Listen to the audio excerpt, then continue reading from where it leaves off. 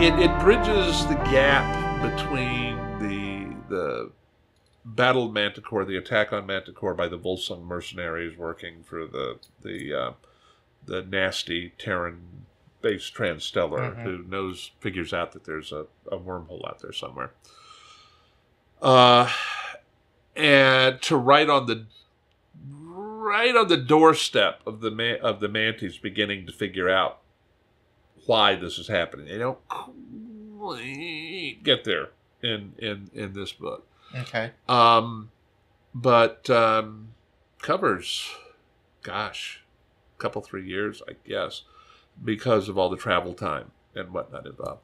Travis is turning into, um, well, he's been from the beginning, uh, a, a very interesting character.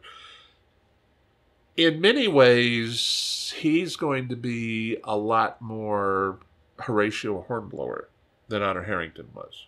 And the reason I say that is first, he's a lot more neurotic than Honor is. And anybody who's read the Hornblower novels knows that Hornblower was pretty neurotic fellow. Um, but the other side of it is that because Forester was writing historical novels, he had to find places he could put Hornblower where Hornblower could do critically important things that never turned up in the history books. Okay. All right. And that's kind of what's going on with Travis. Uh, he's going to be kind of the uh, forgotten hero. So Travis is is um, from the storyteller's perspective, the universe builder storyteller's perspective. Travis is going to be one of our one of our periscopes into what's going on outside Star Kingdom with the Andermani and whatnot at this time because he's going to be out doing intelligence work and that kind of thing. And we'll have a chance to see a lot of that stuff. Okay. Um, but he's also he's he's a very interesting character to me because he is he is gifted in his own way. He's incredibly brilliant, and he's a rules mechanic. Okay, he needs that structure hmm badly. Honor had a very nurturing childhood. Travis had the opposite. Okay. Okay. So honor is very centered. Okay. Um, except for a couple of areas that have to do with Pavel Young and with her her her her belief. You know, I mean, she's got this drop dead gorgeous mother and she spends like 30 years being a gawky 18 year old, 16 year old Mhm. kind of thing. You know, what can I say? There's a downside to everything. Um, but see, what makes third generation sidetrack here, what makes third generation prolong possible is they have to come up with a technique for the brain to go right on maturing and so forth, even while the rest of the body doesn't. Okay. Because otherwise, you are permanently 16 years old with God who would want to be 16 for 40 years. You know what I'm saying? Um, and so they had to come up with with um, with uh, uh, for want of a better term, uh, mods that that uh, that are ongoing treatments to make sure that hormones and everything are where they need to Mhm. be and everything else. Um, and until they cracked that, second generation prolong was the best they could do, and which is why Hamish, who's first generation prolong, um, he's like um, 45 years older than Honor, which is not much when you're talking about people going to live 300 years. But he looks like he's in his 40s, whereas Honor looks like she's in her early 30s. Okay. Okay. All right. Well, Travis, of course, predates hmm all of this.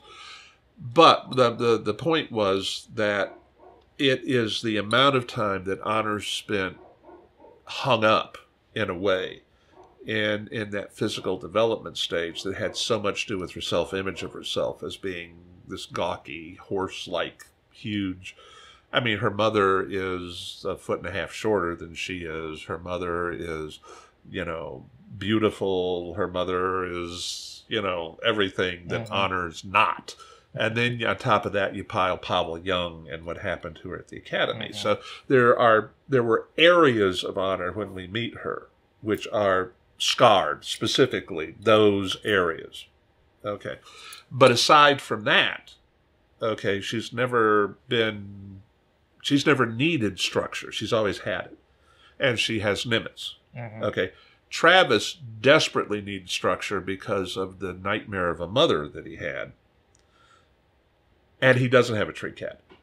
Okay. So Travis is fighting a much harder battle internally than Honor did. Okay. Okay, Honor has to contend primarily with external foes, including ones like Pavel Young, who are inside her defenses because of what happened to her earlier.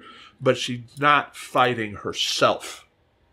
Okay, except I would argue that she is to some extent in um, the interval between um, Field of Dishonor and Flag in Exile, where she has a complete collapse. hmm I mean, she just loses it. I I don't know how many people have realized that we're talking about a complete nervous collapse in effect, despite Nimitz and everything else. After, after Paul Tankersley's death and the Mhm. duel and everything else, and she comes out of it stronger. But I mean, that's really what happens to her there. Travis's life is an ongoing train wreck until he hits the Navy. Okay. Okay. And so the Navy is critical to him in terms of who he is, what he is. It gives his life purpose, it gives his life meaning, it gives his life structure. Okay.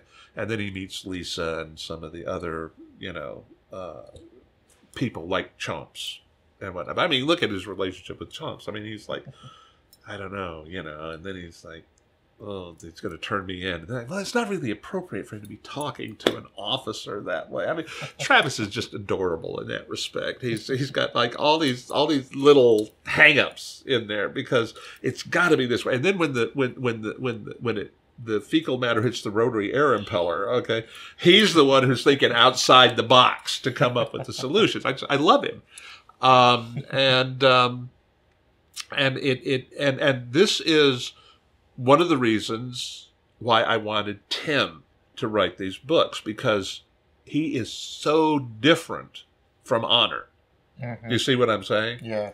Um, and and I just I love looking at the Honorverse through Travis's eyes. It's a whole different place from where honor hangs out, Um, and it is. It's like it's like three four hundred years earlier.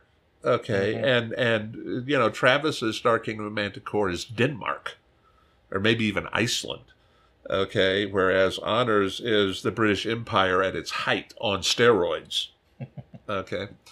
Um, so it's it's um, the the window into the history and the early development. That's why it's the Star Kingdom Ascendant, Mhm. Manticore Ascendant, is because it's Manticore ascending from being Iceland with the discovery of the wormhole and everything else. Okay.